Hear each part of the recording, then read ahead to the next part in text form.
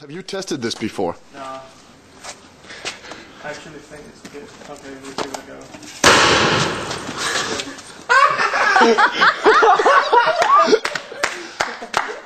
And uh, ladies and gentlemen, that was the mortar.